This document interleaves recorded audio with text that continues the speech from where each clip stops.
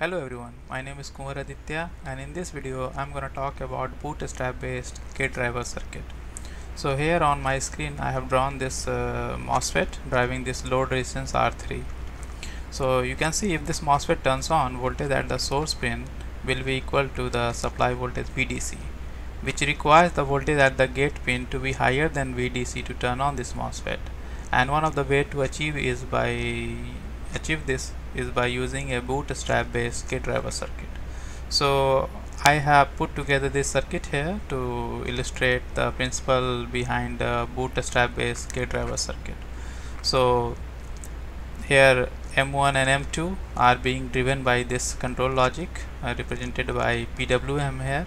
So whenever my PWM goes high M1 and M2 turns on which in turn charges this CBS through this diode D1 from this uh, supply VDD. Now when this is charging it uh, voltage will increase to you know VDD minus any drop in this diode D1 and drop in this MOSFET M1. Now if my PWM goes low the voltage across this CBS will be now across the gate source pin of this MOSFET and if uh, this voltage is uh, greater than threshold voltage of this MOSFET it will turn on now it is generally desirable to have a gate source voltage of 8 to 12 volt uh, for power MOSFET.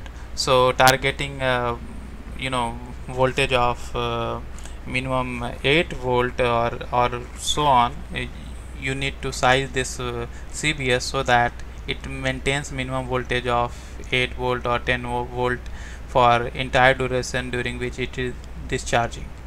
So how to do that? So as a general rule of thumb I usually keep this uh, CBS uh, at least 10 times the value of CGS here CGS represents the total capacitance between gate and source pin of this high side MOSFET which includes any internal gate source capacitance as well as external gate source capacitance connected between these two pins.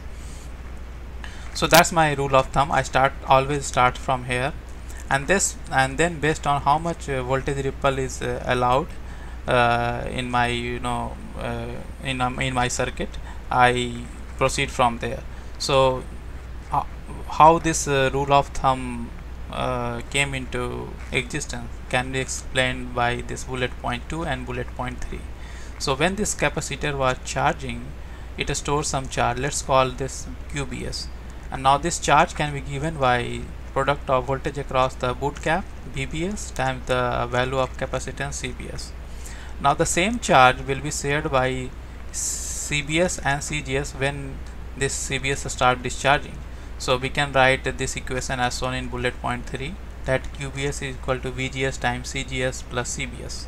So VGS here is the voltage across the gate source uh, capac capacitance of this MOSFET now as the total charge uh, during charging and discharging is same we can equate those these two equations to write this equation as shown in bullet point 4 and in this equation if you put the CBS equal to 10 times the CGS you will find that the VGS is 90% of VBS similarly if you put CBS 20 times CGS you will find that the VGS is 95% of VBS and so on. So essentially higher the value of uh, CBS is more close the VGS is to the VBS so it's good idea is to start from the you know this rule of thumb and then uh, proceed from there. Depending upon how much uh, maximum ripple is allowed you can come up with the optimum value of CBS and just to illustrate the point uh, points which we discussed just now I will run this simulation for four different value of CBS you know I'm using this external CGS of 2.2 nano.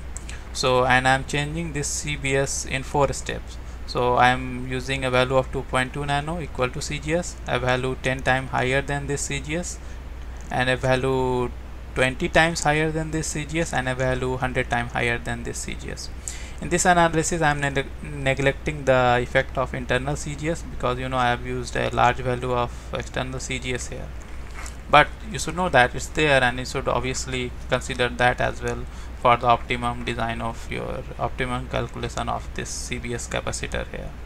So let me run this simulation. So the top plot is of the PWM I'm using a PWM of switching frequency 20 kilohertz and I'm I have kept the duty cycle to 5% to simulate a worst case condition. So it means that the it it only charges for the 5% of the switching interval but it has to support the turn on of this MOSFET for the 95% of the switching interval. So uh, just to show you that uh, with uh, this rule of thumb you can meet the uh, you know this uh, worst case condition as well. So here the middle plot is of the VBS that is the voltage across the boot cap and that last plot is of the VGS that is the voltage across the gate source pin of the MOSFET and uh, this color coding so green plot is of the CBS equal to 2.2 nano. Blue plot is for the CBS is equal to 10 times CGS red uh, plot is for the CBS equal to 20 times CGS and cyan plot is for the CBS equal to 100 times CGS. So you can see as we keep increasing the CBS value our ripple voltage keeps decreasing and uh, for uh, you know CBS equal to CGS um, you have a very large ripple. So voltage uh, is across the gate source capacitance or uh, you know boot cap drops to 4.5 volt from the initial charge voltage of 10.3 volt. So even though this 4.5 volt is enough to turn on this MOSFET still your circuit uh, design rule will not allow you to have that much ripple. And for the you know if we increase the CBS to 10 times the CGS my ripple is uh, really low. So from 10.3 to 8.8 volt yes 8.8 volt this is the ripple of around 1.5 volt. So assuming a base voltage of 10 volt is the 15% of ripple. Usually 10 to 5% of ripple is allowed. So that's why I said if you select a value of uh, CBS uh, you know greater than uh, 10 times CGS you will meet your uh, design requirement. And that's that's where that uh, rule of thumb come from. And uh, whatever voltage across CBS you will have almost equal voltage across the CGS so just to show you here for the CBS equal to 20 times CGS I have a voltage of 9 point uh, around 9.48 or 9.5 volt. And gate source voltage is also around 9.44 volt. So you can see yeah, if you maintain a, a, value of CBS 20 times CGS you you have a ripple of around 0.7 volt which is 7% uh, ripple so that would keep your ripple below 10% which is uh, most of the time the usual design target to achieve to have the voltage ripple less than 10% in your circuit. So that's all for now. And uh, if you have any comment and queries please leave that in the comment section. And uh, I will talk to you in the next video. Bye bye